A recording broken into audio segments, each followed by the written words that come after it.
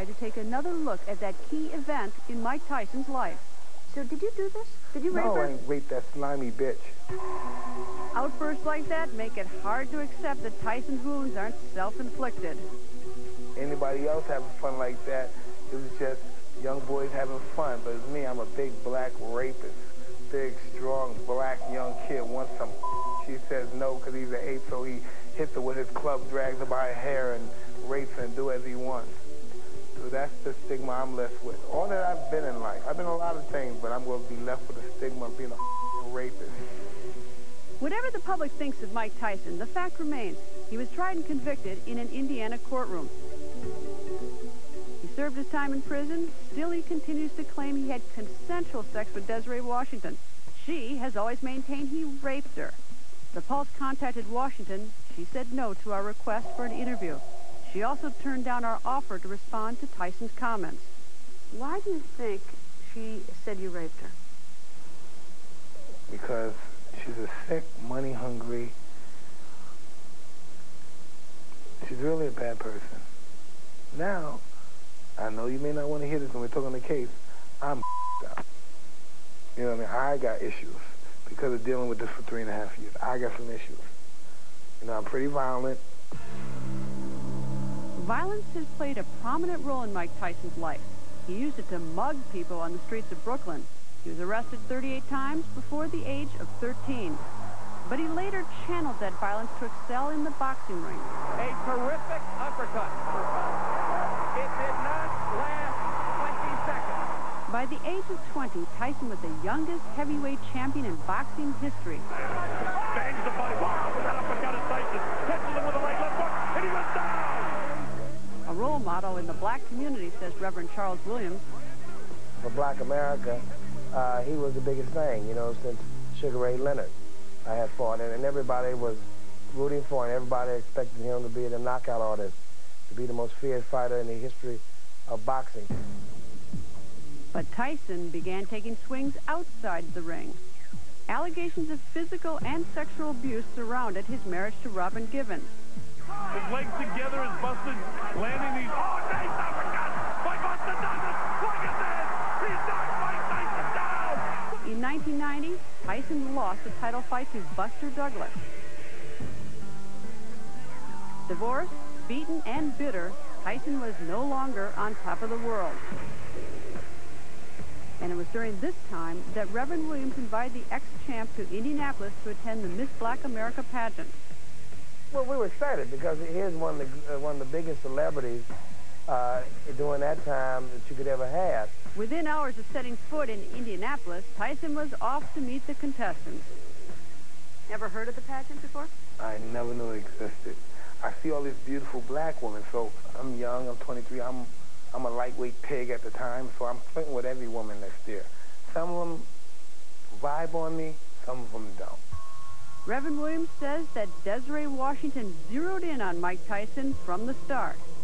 You could see where Desiree Washington had it, had had seek some special attention, and caught Mike's eyes. And Mike was went on stage to do a rehearsal with with the girls, and uh, you could see their eyes constantly going back and forth. There was people that were more interesting and more attractive, but she was, um, I, you know, she was the easiest of the, the lot. How did you know that just having that conversation with her? Because in the conversation that I, I was leading to, I was, I was my conversation, my conversation was pretty, um, oh, I don't know, I would say overtly sexual. And in terms of overtly sexual, how overtly sexual? I want to fornicate with you, but not in those terms, you know what I mean? And uh, her response? Great. That's not how Desiree Washington saw it. According to her court testimony, Tyson called her a nice Christian girl and asked her to go out on a date. She gave the boxer her phone number. Did you know anything about her at that time? Did you ask her where she's from or what she was doing uh, in terms of her talent in the competition? I believe I was discussed. You know, I went through the, um, the formalities of asking where you're from. I believe it was Rhode Island, and she was, what else? She was um, a Sunday school teacher. I've heard that many a time. Court records show that the two met again that evening backstage at Johnny Gill's concert. According to Reverend Williams, the 18-year-old Desiree locked eyes with Tyson. Why she was more excited about Mike than Johnny Gill, for example, I don't know. But, you know, I think that's normal for young ladies to to be and, and, and excited about meeting any celebrity. And Desiree just seemed like the type that she wanted to take advantage of the, whatever opportunity she could get. Much later that night, according to Tyson's telephone log, he phoned Washington from his limousine. It was 1.36 in the morning, and Desiree had just tucked herself into bed. Did you, did you say, even in that initial phone call, when you called her from the car, did you say that, you know, we want to go back to my hotel or anything yes, like that? Yes, yes. Um, my, my objective was to try to hang out with her and whatever's necessary, um, I guess the objective was to fornicate with her, then I leave, and that's what I planned on doing. All right, so when you're in the limousine with her, um, tell me what you were doing. You know, how far did it I think go? I'm kissing on her and I'm fondling her in the car. And um, we're getting aroused, and then I'm ready to go upstairs. And I have the limo driver um, drop us off. But in the limousine, was she resisting you at all? No. Tyson's lawyers found three witnesses who said Washington kissed Tyson in the limo. But these witnesses came forward so late in the trial, the judge refused to allow their testimony. For her part, Washington said she resisted Tyson's advances. She told investigators that as they rolled up to the Canterbury Hotel where Tyson was staying, the ex-champ told her he had to go upstairs to check on the whereabouts of his bodyguard. Desiree followed him. What do you think at that point, when you got out of your limo, what do you think was in her mind uh, was going to happen when you got upstairs? Well, um, obviously I was hoping that she would say she wanted to have sex with me. Desiree Washington and Mike Tyson had sex inside that hotel room. That much is certain. But was it consensual sex, as Tyson claims? 911 police emergency. Yes, I'm, I'm calling to report a rape. The cops didn't think so. You know him well, or is this somebody you just now met? Um, it's someone that's like seen this. Coming up, the prosecution goes on the attack. Maybe you want her to go upstairs and make out with him. Does that make it okay when he rips your clothes off of you? I think not. Tyson's defense takes aim, I think that Desiree was not consistent. and later, what the jury did not hear. It was about the unfairest trial I've ever experienced.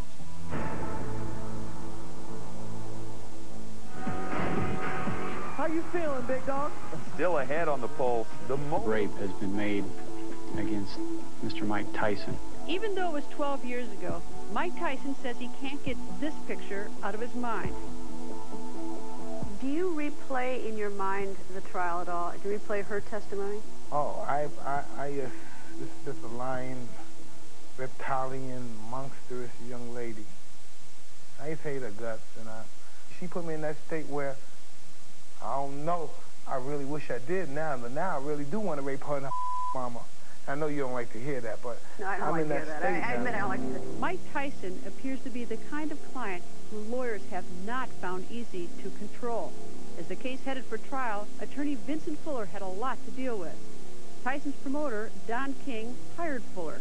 Judged by your peers and in the, in, in the due process objective. But why him? Fuller was a high-priced attorney from a white shoe Washington law firm, not a street crime specialist. Vince Fuller, your lawyer. How, how, what kind He of was a sellout piece of the fella. I didn't know anything about legal. stuff. I'm with Don King, right? This guy, Don King, I'm glad you got into that. Don King's a decent man, supposedly. He's a piece of shit. Because this guy got him out of a tax um, lawsuit. He's going to get this guy um, to handle my particular rape um, involvement. And, man, please. Full disclosure, back in 1992, I was asked about this kind of attack on Vince Fuller by Mike Tyson. And in that interview, in essence, I said it's not uncommon for a defendant who's lost a trial to turn on his trial counsel. Did he talk to you at all? I mean, did he sit and did he come visit you and talk to you about the case at all? Listen, can I tell you something? He cared more about me going to jail than he cared about the bugs he stepped on his way to his job. We asked Vincent Fuller to talk about this case. He told us he didn't wish to appear on camera. Instead, we tracked down another member of the defense team Jim Voyles, a top lawyer in Indianapolis. How do you describe the rapport that Vince Fuller had with Mike Tyson? Oh, I think I think it was kind of like father-son relationship. I think Vince really liked Mike, and I think Vince um, tried to put himself in a position of uh, representing Mike in a way that he believed was appropriate at the time. Many of Tyson's supporters, like Reverend Charles Williams, disagree. I think Vince did not do that great of a job. And I felt like in this city, we don't sit well with bringing in outsiders.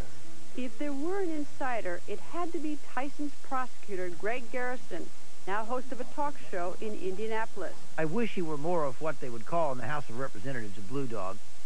Uh, he's not enough of one. He he's should. a homegrown street lawyer, brash, quick on his feet, personable. In many people's eyes, the opposite of Vincent Fuller. Should a lawyer who doesn't have experience in a, this is essentially street crime? Clearly not. He's from that federal place in Washington where you stand behind the podium and your honor this and your honor that, and there's not much sitting on the corner of the counsel table. And I just think uh, he was a fine lawyer that was not in the best forum for himself.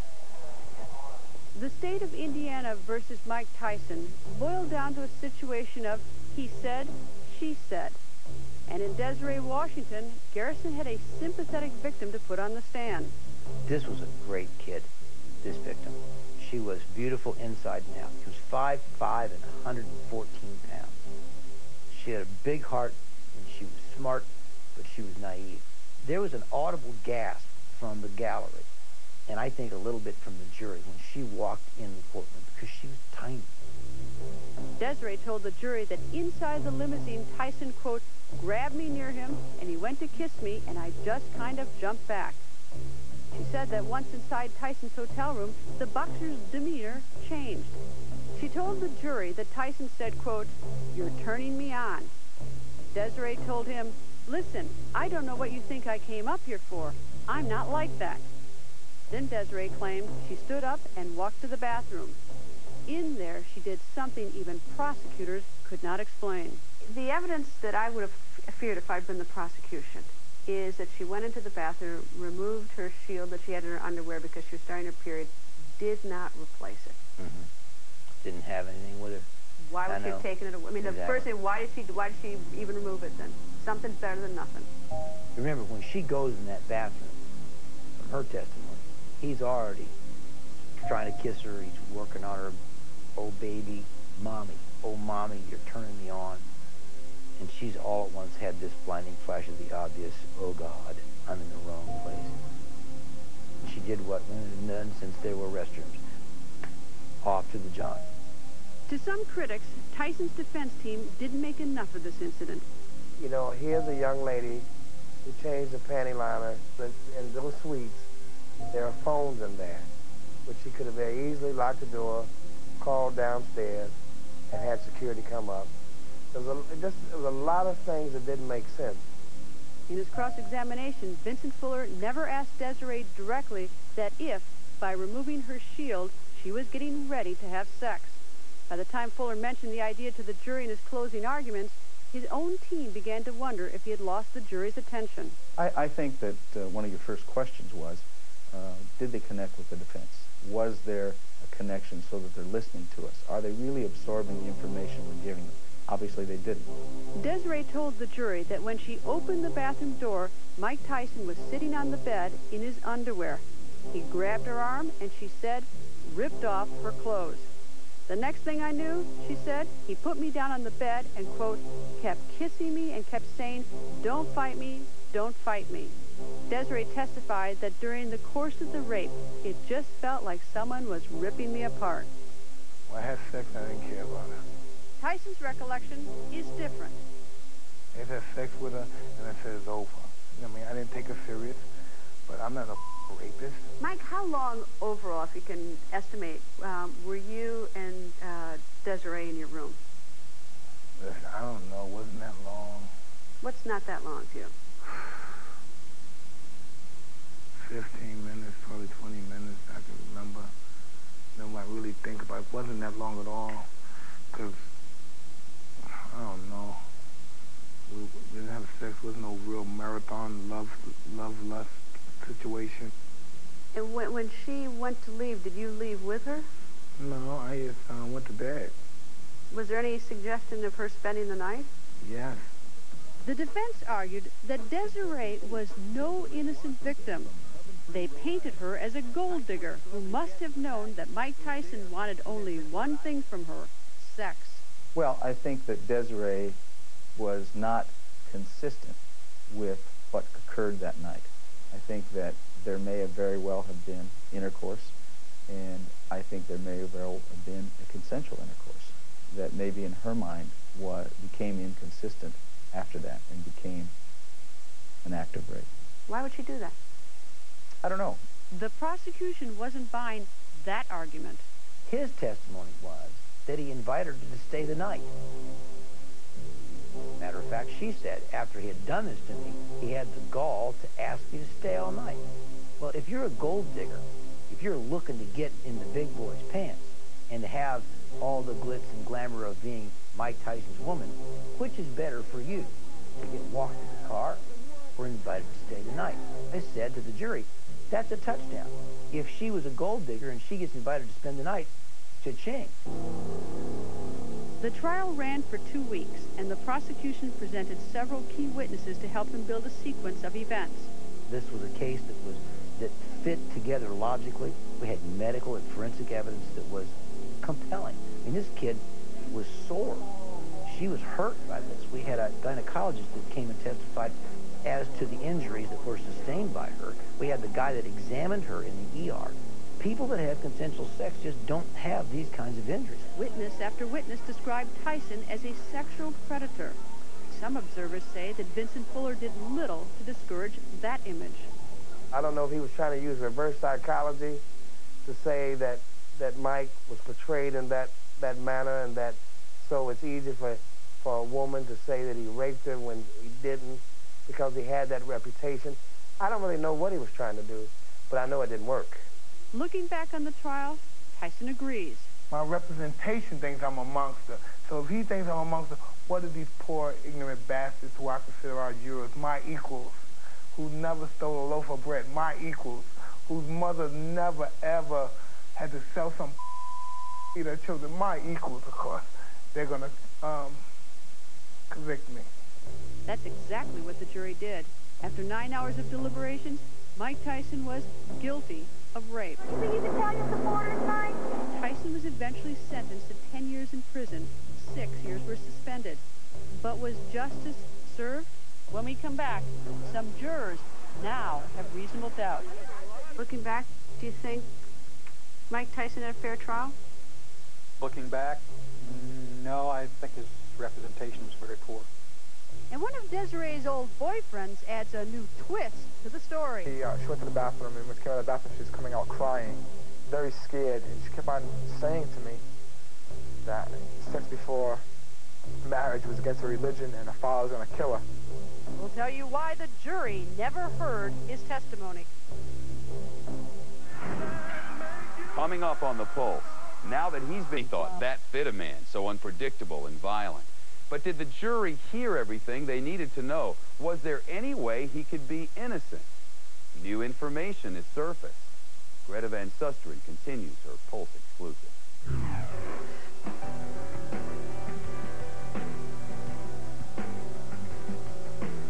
Mike Tyson spent three years in prison for the rape of Desiree Washington. By his own admission, he wasn't exactly a model prisoner. Had a few altercations, all right? Why? Because I was, you know, I lost hope. It's a different game. You don't care about living anymore. Mike had to walk around with that attitude, just like he did in the ring, that don't bother me, because I'm going to kill you, type attitude, to survive. And when he was released in Night His Name, why does this case sit, uh, stick with you so much? I mean, in the sense that it's been more than 10 years, you've served your time. Why does this have such an impact on you? I don't know, man. You know, any case, you can get your dignity back. But for rape, no, no dignity, buddy. Taking some all these hoes out here, you taking that's not cool. That's not cool. To this day, Tyson maintains he got a raw deal in his first trial. But did he? There wasn't even a semblance of fair trial. Harvard Law professor Alan Dershowitz represented the boxer in an appeal. The exclusion of witnesses uh, was not fair. The exclusion of relevant evidence that would have shown the jury uh, the whole picture was not fair. It was about the unfairest trial I've ever experienced.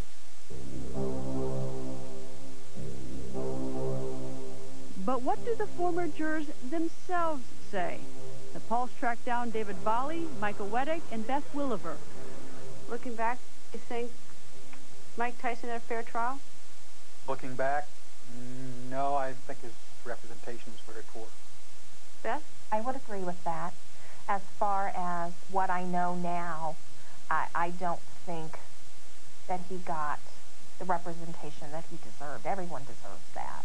What about the decision to put Mike Tyson on the on the witness stand? Was that a good decision? I can tell you what was a god-awful decision, to put him on the witness stand after having him allowed to testify in front of the grand jury. Though the defense team still feels it did the right thing, the prosecution says allowing him to testify played right into their hands.